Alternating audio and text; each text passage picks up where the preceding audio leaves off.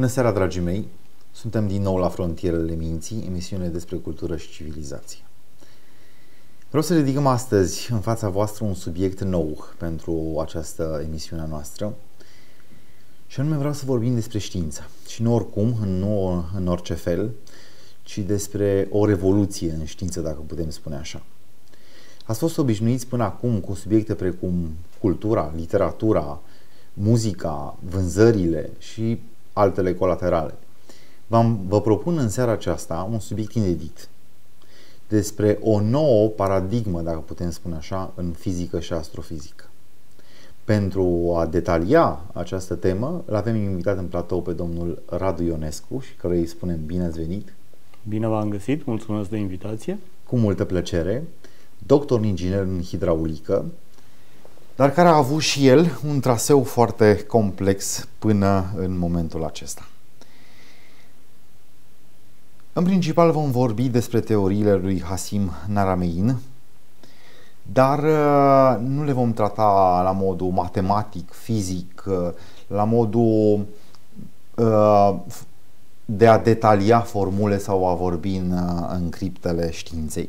Nu, vom încerca să dezbatem anumite subiecte extrem de interesante pe limbajul vostru, pe un limbaj simplu, direct, complex ca și subiectele pe care le vom aborda, dar pe care să-l puteți înțelege ușor. Radu, uh, înainte să intrăm un pic uh, și să vedem cine este acest Nasim Haramein, uh, aș vrea să urmărim evoluția ta. Cum ai ajuns, iată, de câțiva ani buni, nu să te ocupi de aceste teorii, această nouă paradigmă, am putea spune, și care a fost evoluția ta personală? Complicată și în același timp interesantă. Mama m-a făcut inginer. Lucrul acesta se întâmpla pe vremea cealaltă și tocmai pentru că lucrurile se întâmplau, formarea mea a fost pe vremea cealaltă, de acolo a pornit și curiozitatea în viața mea, fiindcă datorită faptului că am avut norocul ca în familie să primesc o educație corectă vis-a-vis de cea uh, de partid care se întâmpla în sistemul formal de învățământ uh, înainte de 89, mi-era foarte ușor să observ discrepanța dintre valorile educației mele și ceea ce se întâmpla în realitate în societate. Și diferența era atât de mare încât uh, era foarte greu să trăiesc cu această diferență fără să mă întreb cum e posibil așa ceva. Și atunci, de la mici întrebări existențiale puse la vremea respectivă, din aproape în aproape cu perseverență. Deci iată să fac aproape 25 de ani de când îmi pun aceste uh, tipuri de întrebări și conform teoriilor cunoașterii, important este să pui întrebarea corectă. Răspunsul va veni. Ca și în filozofie, o întrebare bine pusă are cel puțin jumătate răspunsul dat. Sigur că da.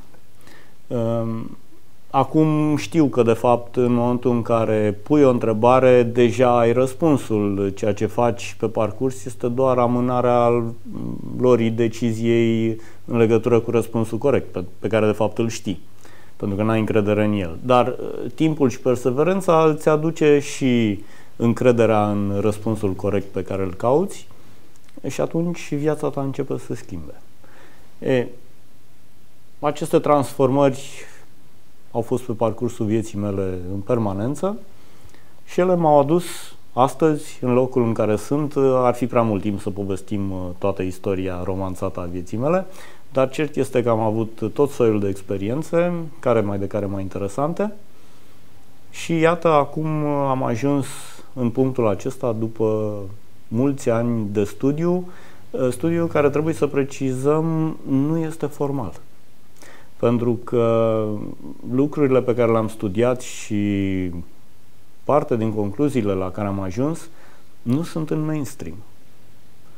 Și atunci lucrul ăsta induce niște delicatățuri. pentru că este destul de greu să vii să vorbești despre astfel de lucruri, practic contra unui sistem deja foarte bine format și uh, care are multe tipuri de recompense atâta timp cât îl respecti. În mod clasic, da, teoriile clasice, viziunea clasică asupra lumii, da, asupra cosmosului, ă, acesta este principalul motiv pentru care ă, realizăm această ediție de la Frontierele Minții, pentru că vrem să vedem o altă perspectivă documentată, argumentată, da, ă, care stă în picioare și care, exact cum ai spus și tu, iese din mainstream, din filonul clasic al teoriilor fizice și astrofizice și în același timp această teorie nouă ajunge să explice, o să vedem, nu? Foarte multe aspecte pe care mainstream-ul le lasă deoparte sau pur și simplu le explică parțial. În mare, da. Înainte însă de a intra în subiectul propriu-zis, vreau să vedem cine este acest Nasim Haramein, acel individ cu părul lung, un pic ondulat, cu față de hispanic din Statele Unite. Cine este acest personaj? Este un personaj de poveste care e un imagistic, e un hippie. Când îl vezi așa, nu prea dai doi bani pe el, din punct de vedere al unei seriozități academice, să spunem. Dar el, la fel ca și Einstein, a părăsit școala la vârsta de 16 ani. Pentru că, la fel ca și Einstein, și-a dat seama că școala îl duce într-o direcție greșită. Cred cu destul de multă convingere că în viitorul apropiat va fi recunoscut de mainstream. Dar el vine din afară și vine cu câteva teorii care sunt uh, ușor de busolante. Și ele sunt argumentate, ele sunt unele demonstrate matematic.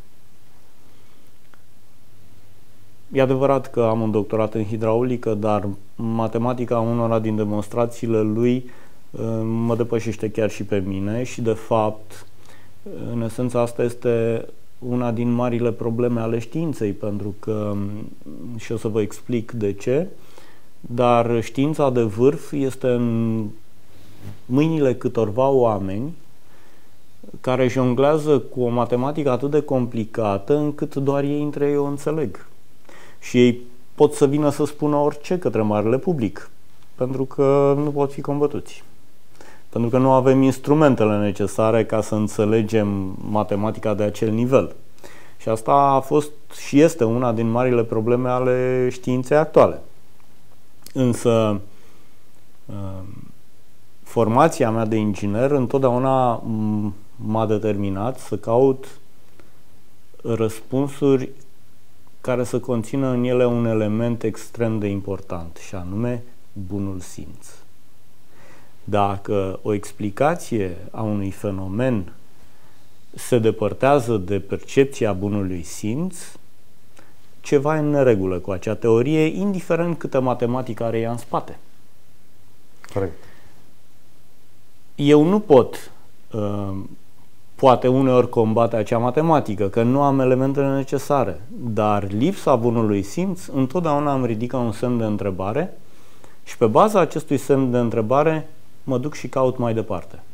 Până când descoper sau aflu ceva care îmi clarifică acea problemă, dar care în același timp răspunde și bunului simț în observație. Deci bunul simț și legile logicii facem o parafrază la exprimarea kantiană, legea morală și cerul înstelat.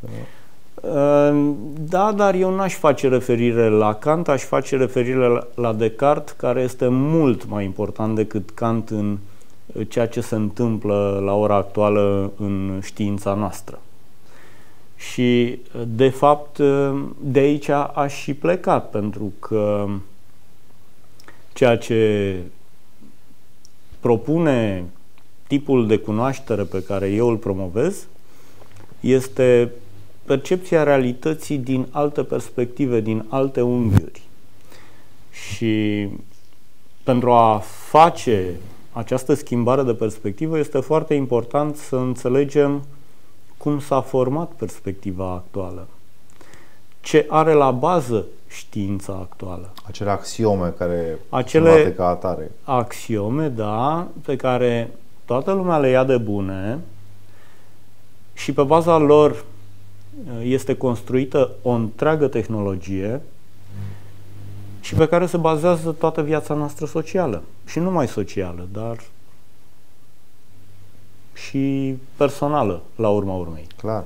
Pentru că toți depindem de tehnologia care ne înconjoară. Hai să vedem uh, ce ne-ai pregătit pentru, pentru seara aceasta. Despre ce vrei să ne vorbești din multele teorii și direcții ale lui Nassim? Aș uh, vrea să vă vorbesc pentru început despre originile modului în care noi percepem realitatea astăzi. Și o temă destul de metafizică, așa. Nu este deloc metafizică, este cât se poate de practică și vei vedea de ce. Pentru că ea explică foarte multe din lucrurile care ni se întâmplă astăzi.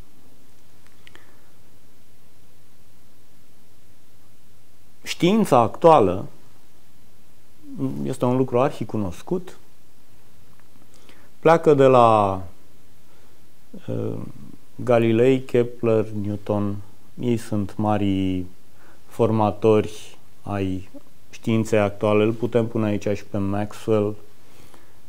Și încă câțiva de același tip, care toți viețuiau în secolele 17-18.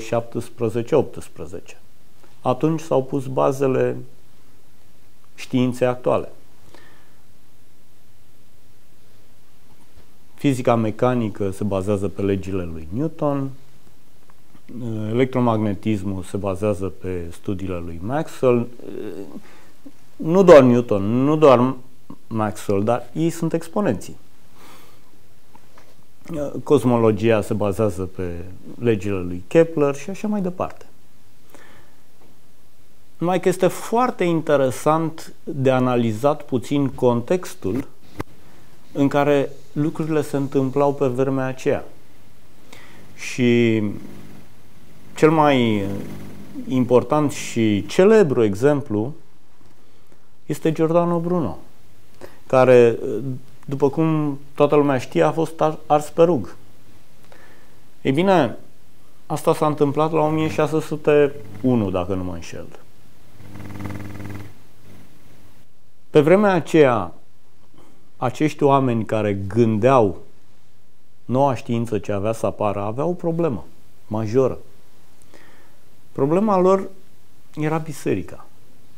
Pentru că la vremea aceea și înainte de acea perioadă, aproape toată cunoașterea era în mâna bisericii. Toate marile centre universitare erau, erau, dacă nu în, cel puțin pe lângă cașe de cult, în special catolice. Iar biserica la vremea respectivă controla cu mână de fier toată cunoașterea. Iar exponentul acestei mâini de fier era Inchiziția. După cum toată lumea știe. Ei bine, pe vremea aceea, un om de știință cu ghilimelele de rigoare cam juca la loto. Nu știa dacă lucrurile cu care el vine ca și descoperire o să-l glorifice sau uh, o să-i pregătească jarul pe care va fi ars. Și toți trăiau în, în această anxietate datorită contextului. Ei bine, a venit un gânditor care a rezolvat această problemă. El s-a numit Descartes. Cogito ergo sum. De la el vine. Cuget, deci există. Dar nu această primă filozofie a lui a fost cea care a rezolvat situația, ci de fapt filozofia lui prin care el statuta că mintea este separată de corp. Cele două substanțe, substanța întinsă, corpul, materia, și substanța cugetătoare, mintea. Exact. Prin această separare, el a rezolvat o problemă pentru toată lumea. Pentru că mintea care în filozofia lui Descartes nu există și materia, partea corporală și partea fizică uh, sensibilă a percepțiilor noastre. Ei bine, prin această separare s-a putut conveni, din nou cu ghilimelele de rigoare, că biserica și credința sunt de partea minții și a spiritului, care, by the way, nu există, iar știința se poate ocupa de partea materială, de tot ce este fizic. Și în felul acesta a dispărut erezia științifică. Acel tip de erezie pe baza căruia Giordano Bruno a fost ars pe rug. Și din acel moment, oamenii de știință, din nou cu ghilimele de rigoare, au putut să se ocupe de materie. Fiind lăsați în pace de biserică, Inchiziția făcând un pas înapoi, din acel moment, Inchiziția ardea vrăjitoare. De unde și vorba vânătoarea de vrăjitoare. Și nu vrăjitor în știință, ră, rămăsese la vrăjitoare. Și nu întâmplător vrăjitoare, pentru că femeile, prin natura lor constitutivă, sunt mult mai apropiate de acele elemente subtile care duc înspre zona spirituală. Și prin natura lor constitutivă, ele continuau să interfereze cu zona pe care Descartes, mai mult sau mai puțin conștient, a vrut să o separe. Femeile, prin natura lor constitutivă, trăiau acolo. Interferau cu acea lume și interferau cu interesele bisericii. De aceea, orice femeie care își manifesta sensibilitățile era taxată instantaneu drept vrăjitoare. Ei bine, această filozofie a lui Descartes, împreună cu activitatea susținută a Inchiziției care a indus o psihoză în întreaga populație europeană la vremea respectivă, s-a ajuns la tipul de gândire materialist de astăzi. Care el, ca și tip de gândire materialistă, nu este neapărat un lucru rău, pentru că iată, ne-a adus tehnologia care astăzi ne înconjoară și care ne conferă indiscutabil avantajele pe care cu toții le știm. Dar ne și limitează foarte mult. Nu ne limitează. Nu, nu. Această, această tehnologie nu ne limitează. Ne expandează pentru că ne, ne crește posibilitățile. Faptul că Uh, am un excavator cu care să sap un șanț și nu mai trebuie să dau la lopată, asta este în mod clar o expandare a posibilităților mele fizice umane. Clar, nu la asta mă refeream. Mă refeream în special la ideea că dacă rămânem ancorați rigid în, în, în lumea materialistă de astăzi, greu vom putea uh, merge înainte deschizând orizonturile mai, mai larg. Mecanismul este următor. Din cauza separării a ceea ce înseamnă minte și spirit de materie, toată cercetarea științifică de atunci până în zilele de astăzi a avut două caracteristici majore. Prima caracteristică este reducționismul, care reducționismul spune așa – orice întreg poate fi cunoscut dacă îi studiezi părțile constitutive în mod individual și independent. Lucrul acesta se vede cu claritate până în ziua de astăzi când toată cunoașterea are la bază reducționismul. Pentru că toată știința în momentul de față este construită în acest fel. Și ne putem uita la tot sistemul educațional. Sistemul educațional de vârf, cam în toată lumea civilizată, este construit pe niște facultăți foarte specializate. Lucrul ăsta este un, un reducționism dus la extrem. Ă, fazele superioare, doctoratele, temele de cercetare sunt și mai înguste. Din ce în ce mai îngust, din ce în ce mai îngust. Bine, reducționismul tare spune că putem uh, da seama de un întreg, de un sistem, reducându-l la câteva elemente esențiale pe baza căruia îl putem explica. Este o cale de cunoaștere. Dar asta este limitativă și categoric pierde din vedere întregul. Pentru că acest reducționism a mai dus către o noțiune foarte perversă a științei actuale, care se numește sistemul izolat. Orice bucată a unui sistem este studiată ca fiind de sine stătătoare. Iar exemplele aici pot fi din orice domeniu de studiu. De exemplu, în medicină, ca să ne luăm pe noi, să studiază ficatul. Omul este disecat, se scoate ficatul și este studiat ficatul. Atât doar că un ficat nu este ceea ce vedem noi că este atunci când îl scoatem din context. Un ficatul la locul lui într-un corp uman funcționează cu totul altfel decât îl analizăm noi la un microscop. E, asta este o, o, un mod nu tocmai ok al metodei reducționiste. Apoi, toate legile, cele trei legi ale mecanicii ale lui Newton se bazează pe sistemul izolat. Cele trei legi funcționează perfect într-un sistem izolat. În momentul în care intri în realitate, toate legile lui Newton suferă corecții bazate pe coeficienți.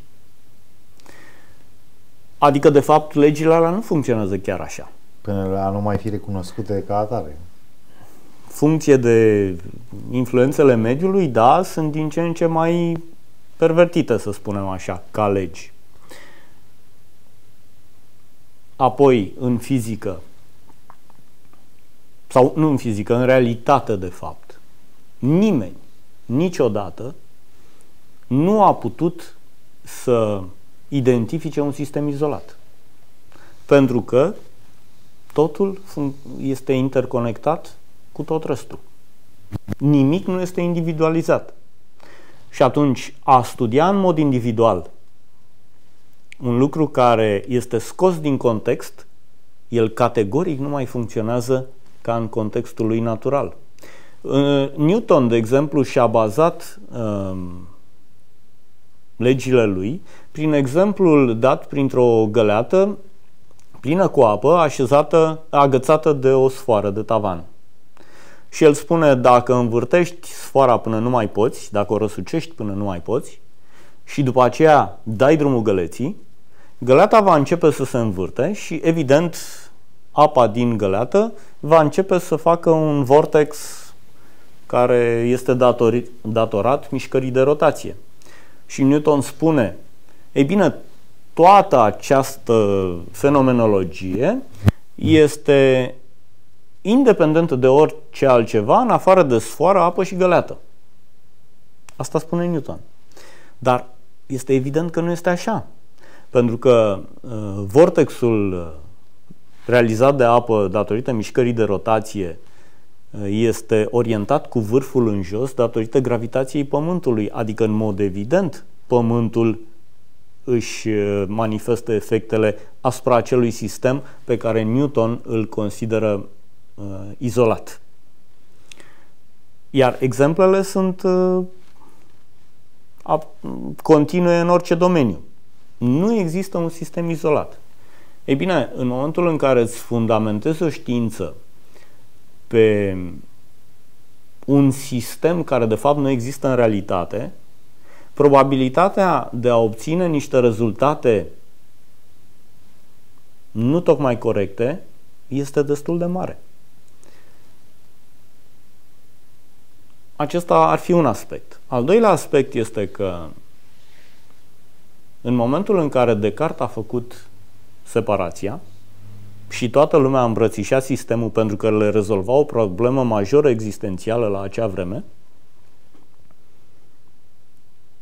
Adică această segregare a putut să facă pace între oamenii de știință și biserică și fiecare și-a văzut independent de treaba lui. Totuși, studiul materiei este bazat strict pe mijloacele noastre perceptive. Simțurile noastre sensibile pe care le știm cu toții, văz, auz, miros, gust, palpare și așa mai departe, au o caracteristică foarte interesantă pe care puțină lume o înțelege ca atare. Și anume, aceste simțuri ale noastre percep doar manifestările radiante. Adică, simțurile noastre percep electromagnetismul sub toate formele lui. De la care de fapt sunt tot felul de vibrații de la lumină, care este cea mai subtilă, la sunet, la căldură, la consistență, toate nu sunt altceva decât vibrații. Ei bine, ăsta este și motivul pentru care în știința actuală, în fizică, este foarte bine studiat și înțeles electromagnetismul, pe care de altfel se bazează toată tehnologia noastră, care electromagnetismul este un fenomen natural universal care se caracterizează prin emanația de la o sursă, oricare ar fi ea, de orice tip ar fi ea. O sursă emite.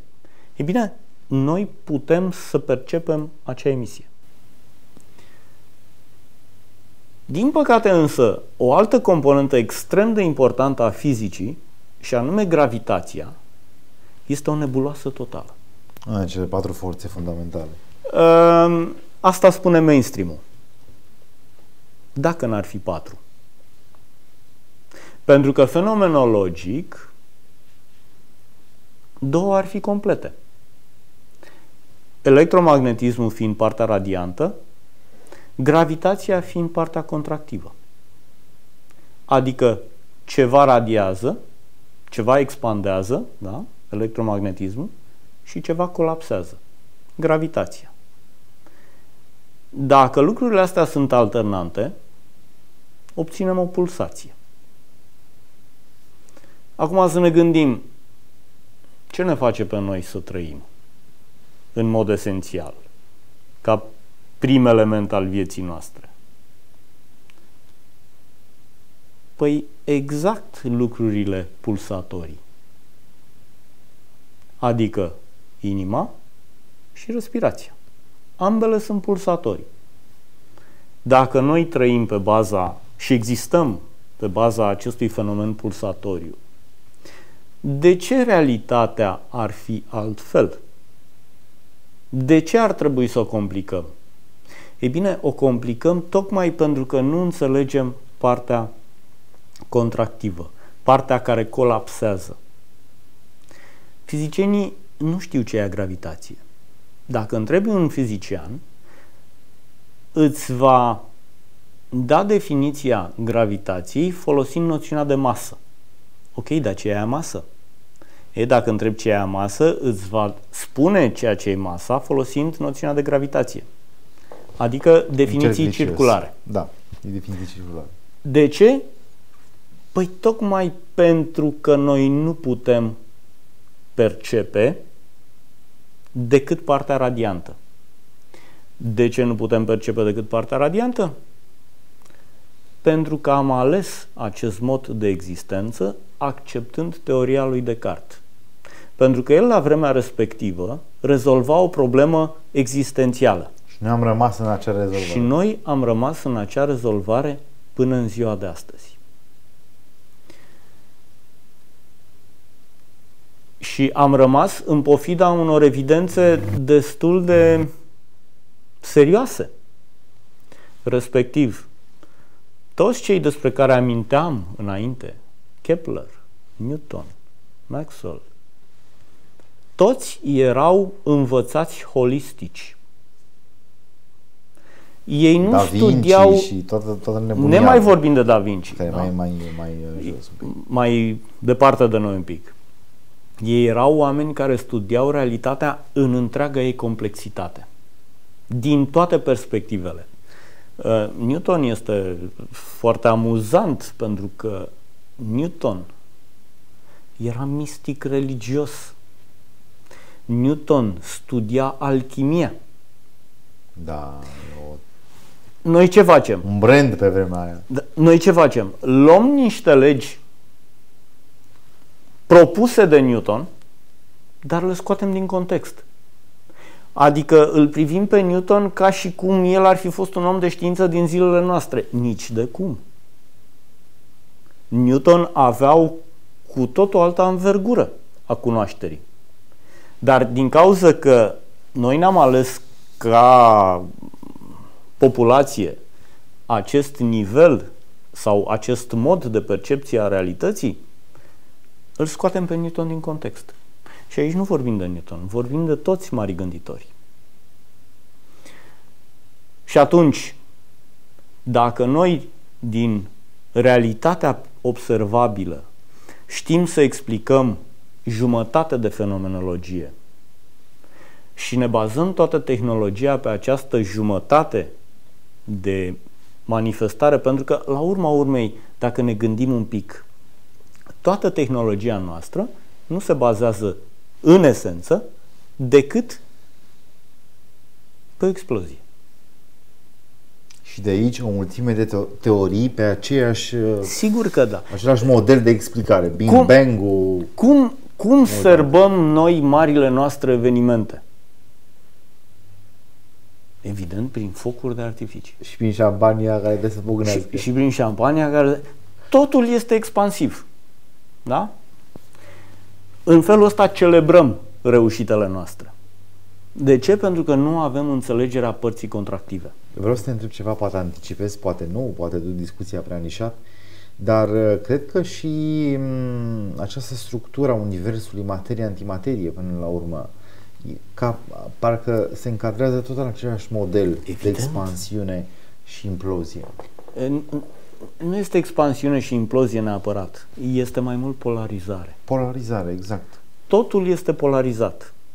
Și în momentul în care există ceva de semn pozitiv, există ceva de semn negativ care uh, plus și minus nu trebuie înțelese neapărat în bun și rău, nici de cum.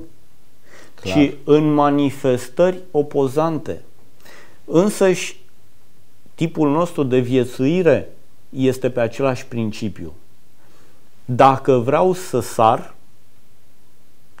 ce este primul lucru pe care trebuie să-l fac? Mi-au avânt. să mă las pe vine, adică să mă duc în jos. Faptul că m-am dus în jos este pentru că vreau să mă ridic. Și nu, nu trebuie să fie privit că, ok, vreau să mă ridic, dar de fapt mă duc în jos. Nu, e ok să mă duc întâi în jos ca să pot sări. Pentru că asta este o legitate naturală. E, aici este vorba de principii. Pentru că dacă principiile nu sunt corect înțelese, se ajunge la lucruri destul de ciudate. Fac o paranteză aici, Radu, dacă îmi permiți, și tocmai asta este una din marile dileme ale secolului 20. Și unul. Și chiar și ale secolului 20, dacă s-a încheiat, dita mai secolul și cu multe, multe uragane și furtuni, dar uh, și unul de asemenea, 21, uh, dar uh, toată această perioadă de când știința a, a explodat și s-a consolidat foarte mult, și la teoretică mă refer, nu la tehnologie, avem această problemă. Uh, n- Spun oamenii de știință din ultimii zeci de ani, nu ne interesează uh, această privire de ansamblu asupra ceea ce facem noi. Adică o critică asupra principiilor, o critică asupra teoriilor noastre din perspectivă logică, din perspectiva bunului simț. Nu, pe noi ne interesează, eu pe bucățica mea, el pe bucățica lui, să tragem o concluzie matematic valabilă și eventual logic, dacă mai încape și logica pe acolo.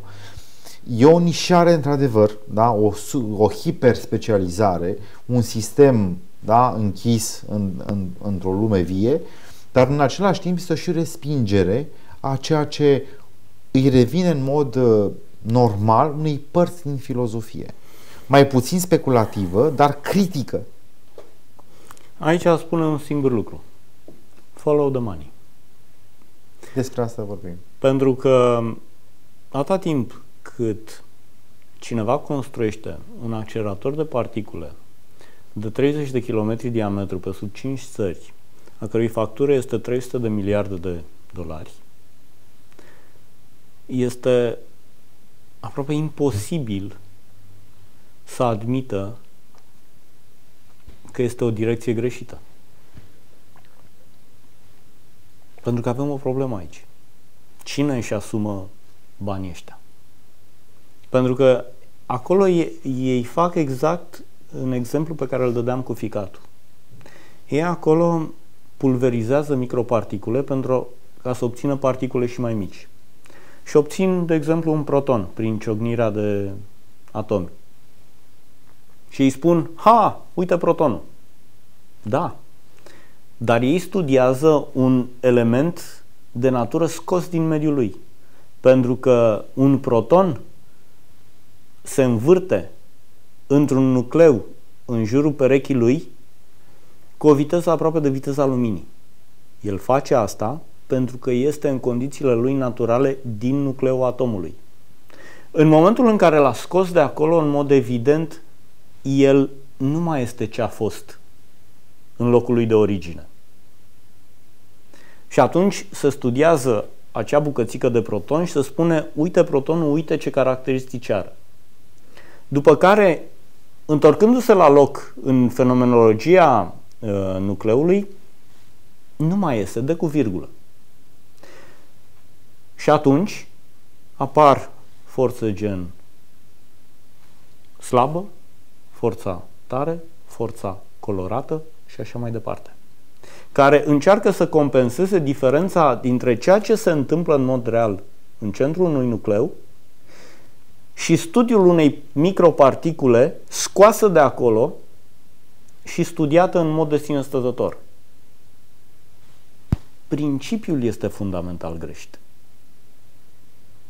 Plus că de curând am înțeles că au încercat uh, să reducă temperatura atât de mult ca să creeze ceea ce consideră că au fost condițiile fundamentale la un moment dat în evoluția Universului, chiar spre începutul Universului și iarăși mi se pare o, un reducționism uh, eșuat.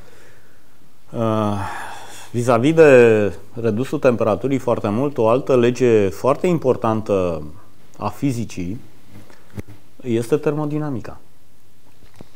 Termodinamica care are o lege, are mai multe legi, dar esențială este legea a doua a termodinamicii, care spune că orice sistem natural este entropic. Ce înseamnă această entropie de fapt? Foarte puțină lume înțelege noțiunea de entropie în mod real. Este acea energie care este consumată de către sistem pentru a ajunge la starea de echilibru. Starea de echilibru, în ultimă instanță, înseamnă nemișcare. Moarte. Moarte. Anularea tensiunilor. Da. Uh, și această lege a doua a termodinamicii spune că orice natural, orice sistem natural ca să-și păstreze parametrii de funcționare, trebuie alimentat cu energie de undeva. Pentru că altfel... E, problema lor este că această teorie conceptuală duce către moartea Universului. Pentru că energia din Univers e finită. E finită și atunci, conform legea a doua a entropiei, uh, se va ajunge la moartea Universului. E adevărat, într-un timp uh, extraordinar de mare nu ne interesează deocamdată, deocamdată pe noi lucrul ăsta. Dar, din nefericire pentru această teorie, există lucruri în Universul acesta care arată exact contrariul. Adică sisteme naturale care nu sunt entropice. Pentru că dacă n-ar exista această entropie, ar uh, însemna existența unui perpetuum mobile, care tehnic nu a fost uh, inventat, nu e așa, încă. Atâta doar că atomul, ca să luăm un element foarte cunoscut, și mic, destul de mic. Și care este mic. un sistem perfect natural, ne arată exact contrariul legii a doua a termodinamicii. Pentru că electronii în jurul lui, norul de electroni, are o mișcare constantă aproape de viteza luminii de la începutul Universului și până azi. Și hai să fim serioși, un atom numai într-un mediu uh, izolat nu trăiește pentru că el interferează cu toți ceilalți atomi din jurul lui. Și cu toate astea, acel electron se învârte non-stop. Electronul este un exemplu um, micro. Dar avem galaxii, avem clustere de galaxii, avem coasari, care sunt niște corpuri cerești de dimensiuni de milioane de ani lumină, care, um, pe măsură ce se îngustează către centrul lor, la dimensiunile acelea, zonele centrale se învârt din nou cu viteze apropiate de viteza luminii, constant. E, dacă vorbim de galaxii sau de clustere de galaxii, apoi vorbim acolo de niște energii care numai uh, de neluat în considerare nu sunt. Și cu toate astea lucrurile se întâmplă non-entropic. Pentru că, conform legii a doua a termodinamicii, ar trebui să încetinească. Ce le face să se învârtă în mod constant, în permanență? E bine, această... Se deplaseze, că am înțeles că e o deplasare clară a Universului. E, chestia cu deplasarea poate fi explicată inerțial. Au plecat de unde le-a împins ceva și ele continuă. Da. Dar rotația nu. Corect. Și nu numai că rotația nu, dar rotația la acele valori formidabile de viteză. Astea sunt greu explicabile prin impulsul inițial. Printr-un impuls inițial, chiar și um, acordat Big Bang-ului inițial. Care e una din teoriile care este una din teorii cosmogonice. Care, care e una din teorii, sigur că da. Ei bine, lucrurile astea, ca și paradigmă științifică, în mod evident ne împiedică. Adică, pe de-o parte, trăim uh, focusați cu mintea pe uh, aceste sisteme entropice care se duc către moarte datorită autocombustiei, să spunem așa, deși nu e cel mai potrivit termen, dar plastic uh, exprimă ce vreau să spun. Uh, și atunci spunem, a, ok, nu se poate mai mult. Cu toate că realitatea înconjurătoare ne oferă aceste exemple care numai de desconsiderat nu sunt, care ne arată că, de fapt, în mod natural, lucrurile se întâmplă altfel. Dar acum să uh, ne gândim și în lumea biologică. Toată lumea biologică este non-entropică. Ceea ce se naște dintr-o sămânță, planta care se naște dintr-o sămânță, este non-entropie. Pentru că conform legii a doua a termodinamicii, din sămânța aia ar trebui să facă ceva mai mic, că nu e așa. Și cu toate astea, dintr-o sămânță se naște ceva mare. Uh, mai mult decât atât, această teorie a sistemului izolat entropic naște niște perversiuni psihologice, sociale, care spun următorul lucru. Dacă sistemul este închis, înseamnă că resursele sunt finite. Dacă resursele sunt finite, înseamnă că nu ajung la toată lumea. Dacă nu ajung la toată lumea, înseamnă că trebuie să ne batem pentru ele. Sună cunoscut? Cred că de câțiva zeci de ani, da. Ă, de Cel puțin câteva în mod mii oficial. de ani chiar. Da, da, da. Ah, da ok. Da, da. Uh, Ceea ce toate aceste teorii științifice te împiedică să te gândești și să găsești soluții pentru ceea ce se numește free energy. Energie nelimitată. Energie pentru toată lumea. Ok. Dar din nou, follow the money. Dacă ar exista așa ceva, Cine ar mai câștiga și cine ar pierde? cine ar mai deține monopoluri? Iar banii se câștigă de pe urma monopolurilor. Banii adevărați. Da? E, astea sunt motivele pentru care este destul de greu să schimbi paradigma. Să schimbi modul uh, în care lucrurile sunt privite. Din fericire însă, faptul că lucrăm cu jumătate de măsură are consecințe care ne fac să ne, uit- ne obligă să ne uităm în direcția care trebuie. Fiindcă deja începe să se vadă că resursele naturale se epuizează. Deja apar crize economice de nicăieri. Deja faptul că lucrăm cu jumătăți de măsură ne arată că jumătate din populație trăiește relativ bine, cealaltă jumătate însă mai puțin bine. Deja clima se schimbă. Și așa mai departe. Astea sunt lucruri care, ne mai vorbim de conflicte, care, mă rog, conflictele pot fi și întreținute, dar sunt lucruri care ușor, ușor ne duc în direcția care trebuie. Și lucrurile au început să se miște. Iar unul dintre cei care mișcă aceste lucruri este de fapt Nasim Haramein. Și nu e singurul. Și nu este singurul și este foarte bine. Uh, Radu, deja cred că ne apropiem de finalul ediției acesteia și n-am vorbit probabil decât uh, uh, introducerea nu? la multe alte aspecte sau am, sau am atins uh, acele capete de ață care dacă mergem pe ele un pic uh, vom da de lucruri și mai interesante și mai complicate și poate și mai complexe, mai bine zis.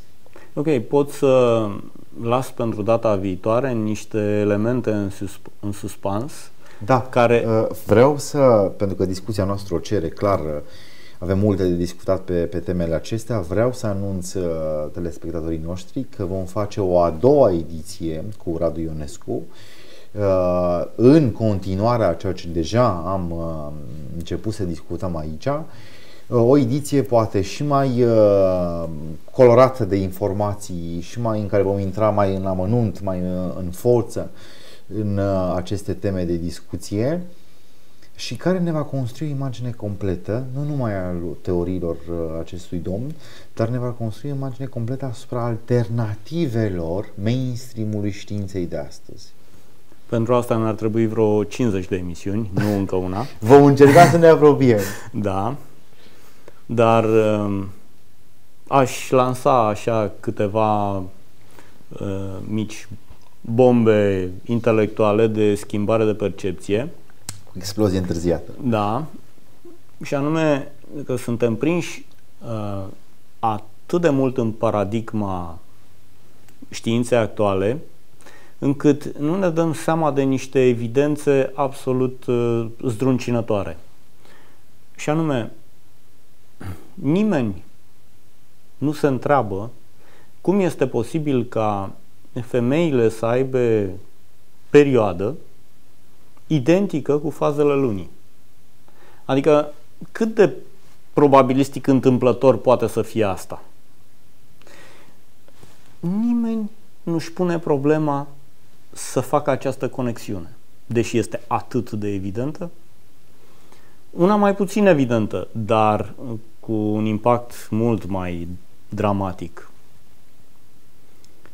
Uh, Marele an platonic, care în cosmologie înseamnă uh, mișcarea punctului ventral la răsăritul soarelui la echinocțiu pe bolta cerească. Pe 21 martie, dacă stai pe malul mării și privești răsăritul, linia dintre uh, privitor și soare se prelungește pe bolta cerească și ajunge într-un punct de pe bolta cerească. Ei, la fiecare echinocțiu de primăvară, acest punct se deplasează ușor. Până când, la un moment dat, acest, uh, această linie de observație revine la punctul inițial. La punctul inițial, această linie de observație revine odată la 25.920 de ani. O nimica toată. O nimica toată. O să ziceți, ok, și ce cu asta? Păi hai să vedem ce cu asta. Știți, probabil iarăși o informație puțin cunoscută, câte respirații are un om pe minut? Un bărbat, pentru că femeile au ușor alt ritm. Un bărbat sănătos, mm, care are un fizic cât de cât uh, ok, deci nu e sedentar, nu e hipersportiv sau așa, respiră în medie cam cu 18 respirații pe minut. O oră are 60 de minute. O zi are 24 de ore. Dacă veți înmulți 18 cu 60 și cu 24, o să obțineți un număr de respirații pe zi al unui om normal, sănătos, bărbat. Știți câte respirații are acest om pe zi? 25.900 20. E, o simplă coincidență. Extraordinară coincidență. Și ea este aceeași cifră care nu este o cifră foarte comună, o foarte întâlnim interesant. în niște ipostaze sensibil diferite. Și să spunem că marile, multe din marile culturi antice au preconizat aceste perioade. Grecii antici, civilizația Maya cu precisie echinocților și așa mai departe. Ei ne-au spus multe lucruri pe care noi încă în ziua de astăzi nu știm să le descifrăm. Lucruri pe care ei le știau. Și unul din motivele pe, pentru care ei le știau este că ei percepeau realitatea în mod holistic. Nu în întregul ei. În întregul ei nu percepeau numai partea expansivă, ci și partea contractivă. Cea mai bună indicație despre partea contractivă noi o cunoaștem sub formă de meditație. Este modul în care noi ne ducem către centrul nostru. În afara situației de zi cu zi, pe care o trăim și o viețuim în permanență în afara noastră. Acum um, fuge, fuge mintea către celebru deja proces de refulare-defulare în, în, în filozofia freudiană și de la Freud încoace în toate celelalte terapii. Procesul de ascundere și procesul de, re, de revenire a refulatului. Totul alte... este ciclic. Totul este pulsatoriu. Radu, noi uh, îți mulțumim uh, foarte mult pentru prezența noastră, pentru prezența ta în emisiunea noastră și um, anunțăm uh, pe cei care ne-au urmărit că cel mai probabil săptămâna viitoare va urma o a doua parte a acestei teme de discuție în care vom, poate, și să ne și Radu ce ne ce surprize ne pregătește. Vom intra și mai în amănunt în, în, în, în subiect, în subiectele deja expuse aici. Vă mulțumesc foarte mult pentru că ne-ați urmărit și vă doresc în continuare o seară frumoasă. Numai bine!